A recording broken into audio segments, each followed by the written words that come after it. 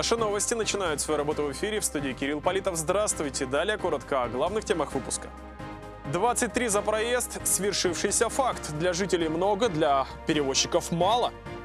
Смертельное ДТП утро первого рабочего дня в Барнауле началось с трагедии. Ох, как тяжко, как настроить себя на рабочий лад после каникул.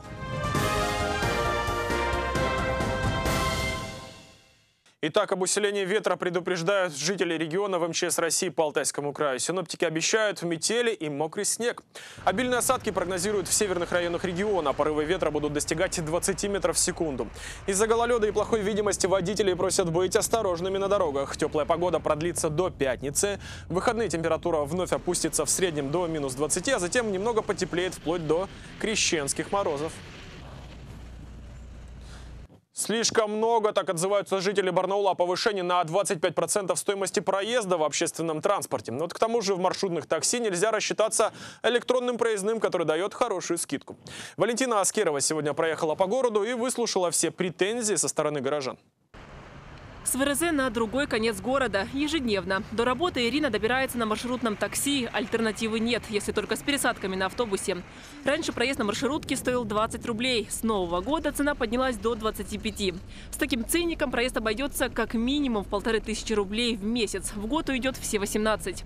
Это размер месячной зарплаты Ирины, а ведь она одна воспитывает четырехлетнюю дочь, на счету каждая копейка. Проблему решили бы электронные проездные. Поездка стала бы на пару рублей дешевле. Но в маршрутках такие льготы не предусмотрены законом. Хорошо, если вот к бабушке, например, мы можем доехать э, на большом автобусе. Туда, мы, конечно, можно купить и электронный проездной билет. А э, когда ездишь на работу каждый день, только на 77-м, здесь нет электронных проездных билетов.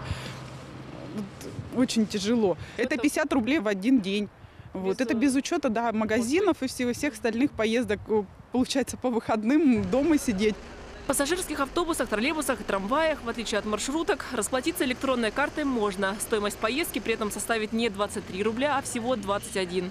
Но карту приобретают далеко не все. При нас ею не расплатился ни один пассажир. Очень много приходится тратить на проезд. Обычному студенту. А у вас карта? А, нет, я наличными расплачиваюсь. Бьет по кошельку? Конечно, даже очень. Даже очень. Особенно пенсионеры, которые получают пенсию 8 тысяч. Конечно, дорого. Все же, ну, за проезд уже такого, такая цена. Я-то бесплатно, но у меня есть молодежь, которая платит. Тех жалко людей. Волну негодования люди выплескивают не всегда по адресу. Достается кондукторам и продавцам Лиги Пресс, где продаются электронные проездные. Извините, у меня А учет подскажите, пожалуйста, Я вот, э, занята. по поводу пополнения транспортных карт. Э, Говорят, Девушка, говорят, пожилые люди очень недовольны и ругаются. Правда? Да, Сильно вам достается? очень. Как справляетесь-то? Умываясь святой водой. А умываться святой водой придется еще продолжительное время, ведь далеко не все горожане знают причину повышения стоимости проезда. Как нам пояснили сегодня в мэрии, а мы обратились за комментариями к ним, предъявлять претензии кондукторам и продавцам проездных нет смысла. По качеству транспортного обслуживания обращаться нужно в комитет по дорожному хозяйству. Телефон контактный написан, э, указан на, в транспортных средствах на передней части, там, рядом с водителем. Это телефон 371 617. А пока многим горожанам всерьез предстоит задуматься и сделать выбор между поездкой в автобусе и пешей прогулкой. Валентина Аскерова, Николай Шелко. Наши новости. Ну а между тем автоперевозчики не считают повышение проезда значительным. Существенно поправить ситуацию на рынке пассажироперевозок мог бы тариф в 35 рублей за поездку. Последние месяцы прошлого года перевозчики задолжали огромные суммы за топливо, чтобы хоть как-то расплатиться с долгами. И было принято решение установить новый тариф на проезд от 23 до 25 рублей в зависимости от вида транспорта. Цена занижена, уверены эксперты. Себестоимость проезда в городском транспорте на сегодняшний день уже далеко за 30. повысить заработную плату водителям и кондукторам мы пока еще не можем. И, может быть, заработаем и повысим. Ну, речь-то идет сегодня о другом. Необходимо менять подвижной состав. У нас сегодня 80% больших автобусов подлежат списанию. Будет ли какая-то вот именно автопарк обновляться, либо ремонтироваться? Вот с этой системой пока нет. Пока нет.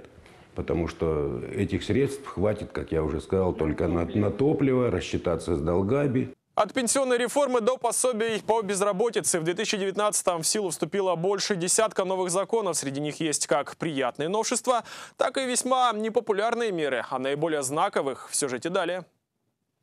Продолжается пенсионная реформа. С этого года стаж для досрочного выхода на пенсию 37 и 42 года для женщин и мужчин соответственно. Работающие предпенсионеры, то есть те, кому до заслуженного отдыха осталось 5 лет, получили право на два оплачиваемых дня в году для посещения больниц. Пенсия по старости у неработающих пенсионеров в среднем выросла на 1000 рублей.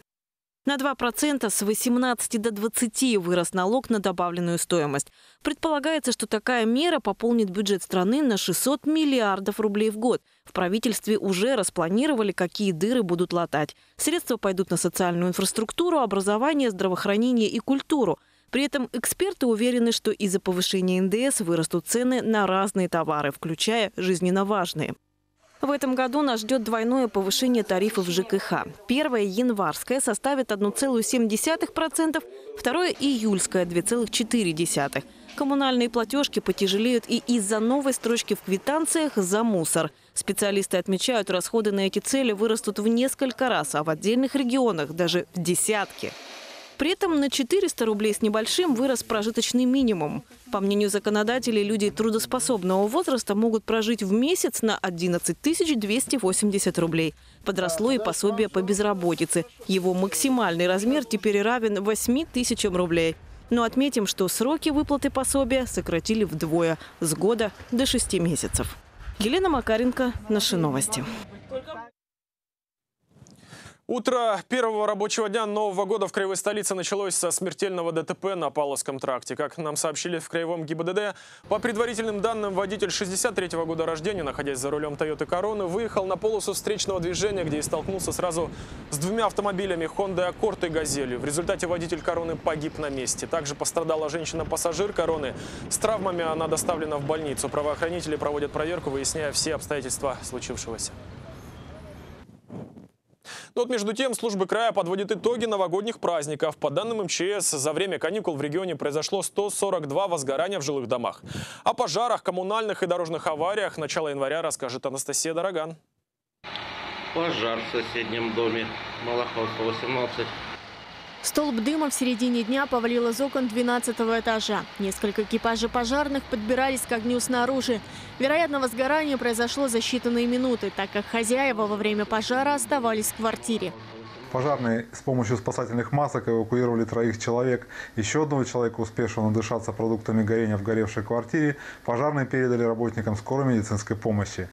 За первые дни года в пожарах на территории региона пострадало 13 человек. Это больше, чем за новогодние праздники прошлого года, сообщает в МЧС края. Рост числа возгорания не связывают с народными гуляниями. Но в барнаульском поселке Ягодная дом сгорел в отсутствие хозяев. Семья с маленьким ребенком и беременной женщиной осталась безо всего. Сейчас они будут рады любой помощи. А в Заринске обернулся трагедией канун Нового года. 13-летний мальчик вдохнул газ из туристического баллона. Спасти ребенка не удалось. Не обошлось во время каникулы без коммунальных аварий. В центре Тюменцевского района и в Барнаульском поселке Восточный рвались водопроводы. ДТП за время праздников было несколько, но пострадавших в авариях наберется с десяток человек. Массовая авария произошла на грани Халтая. Лихач якобы не справился с управлением и собрал на парковке 7 машин. А в Бийске при столкновении со столбом авто разорвало пополам. По неподтвержденной информации водитель находится в коме в реанимации. Сотрудники МЧС просят жителей края быть внимательными на дорогах и сейчас. В ближайшие дни будет плохая видимость и гололед. Анастасия Драган, наши новости. Шумные застолья и длинные праздники позади. Для многих людей первый официальный рабочий день – настоящая проблема. Как вернуться в привычный ритм жизни? Свои советы дают психологи и врачи. Их выслушала Елена Кузовкина. 9 января 2019 года. День, когда организм испытывает настоящий стресс. Многим вернуться к привычному ритму жизни сложно. Это проблема, о которой говорят даже психологи. У людей у всех есть определенные ожидания. И когда они уходят на эти каникулы, все надеются на какое-то чудо да, новогоднее. Ну, чудо в основном не происходит стандартно, поэтому разочарованные, еще и объевшиеся, некоторые перепившие. Готовиться к трудовым будням нужно заранее, говорит Алла Лобанова. Дня за три. Перестать много есть и пить, поутюжить рабочий костюм и попытаться встать по будильнику. По словам психолога, многие люди просто разучились отдыхать. Барнаульцы же, которых мы сегодня опросили на улице, новогодние каникулы в большинстве своем провели с пользой. По большому счету новогодние праздники идут для кого? Для бюджетников долго, кто работает там в формате, а большинство людей, у нас все магазины работают, все работает. Мне кажется, большинство людей работают в новогодние праздники. Чем вы занимались, если не секрет? Если не секрет, ну, если не секрет, э, вязала, вышивала, занималась своими любимыми делами. А что делать тем, у кого нет любимых дел, а выходные есть? Очень плохо. Что плохо? Длинные? Длинные. Ага. То есть заняться нечем? Нет, тяжело их переносить. И заняться, в принципе, тоже нечем. Количество обращений за помощью к врачам в новогодние праздники увеличивается на 30%, говорит главный нарколог края Андрей Иванов. И основная причина – отравление алкогольными напитками. Попытаться э, переболеть, если это чувствуется какой-то дискомфорт, но не пользоваться советом «лечи подобное подобным». И врачи, и психологи советуют выходить из новогоднего состояния постепенно и не забывать, что жизнь сама по себе праздник. Елена Кузовкина, Алексей Фризин. Наши новости. Сегодня, в последний день школьных каникул, в Барнауле выявляют лучших юных математиков. Краевая столица принимает участников межрегионального турнира «Математические бои». В умении обращаться с цифрами сражаются более 400 школьников из Барнаула, районов края, Республики Алтай, даже Новосибирска и Красноярска. Зачем в эпоху карманных компьютеров школьникам уметь решать задачи в уме, выяснял Илья Кочетков. Логарифмы, интегралы, функции – то, что для многих китайская грамота, для этих ребят простая разминка для ума. Правда, не самая легкая, поскольку каждая из восьми задач выше обычного школьного уровня. Как вот эта задача про треугольник. Надо показать, что уголочки равны. Однако... Однако это все, что я знаю про нее. И в этом весь интерес. Ты читаешь задачу, ты не понимаешь, что делать, а потом тебе приходит озарение, и ты ее решаешь. Или не решаешь. Эту решишь? Должен, обязан. Суть соревнований такова. Несколько команд одновременно решают несколько задач. Затем жюри оценивает правильность, а также умение капитана команды защитить свою работу. Математические бои – долгожитель интеллектуальных состязаний. Первые прошли еще 40 лет назад в Ленинграде, нынешнем Санкт-Петербурге. И с тех пор проходят в десятках российских городов. 20 лет назад их начали проводить и в Барнауле. И сегодня в краевую столицу приезжают юные математики со всей Сибири. Это команда из Красноярска. Просто скататься. Ну и вообще э, матбои ну, у нас в городе там очень редко проводятся. Ну и как бы поучаствовать, почему бы нет. К тому же, признались участники в Барнауле, в отличие от многих других городов, за участие не берут оргвзнос, оплачиваешь только проезд и проживание. Правда, особых наград, кроме диплома, здесь тоже не получишь. Ни денежных призов, ни дополнительных баллов при поступлении в ВУЗ. Стимул, уверены организаторы, в другом – возможность впоследствии сделать хорошую карьеру ниша, связанная с информатизацией, связанная с IT-технологиями. Конечно, очень многие идут э, работать в эту область. Это люди-постановщики задач вырастают. А все потому, что решают по старинке, в уме. Таково непременное условие боев. По итогам в каждой из групп, младший, средний и старший, определят команды победителя. Итоги математических сражений подведут завтра. Илья Кочетков, Александр Антропов. Наши новости. Хоккеисты Алтая к Новому году подарили своим болельщикам подарок. Едва отгремели праздничные выходные, барнульцы отправились в выездной вояж. Первая остановка по графику Саратов. Так вот именно там и был сделан подарок. Подробности встречи о других не менее значимых новостях спорта далее. Открыли год. Алтай оказался крепче кристалла. Об этом говорит счет первого матча серии. 6-4 в пользу барнаульцев. Сама игра развивалась по сценарию. Одни убегают, другие догоняют. В роли догоняющих оказались в этот раз хозяева. При счете 4-1 в свою пользу красно-синие умудрились растерять заработанное преимущество. В итоге Алтай все же убежал. Три очка в копилке, по-прежнему шестая позиция в таблице. Через несколько часов вторая часть противостояния.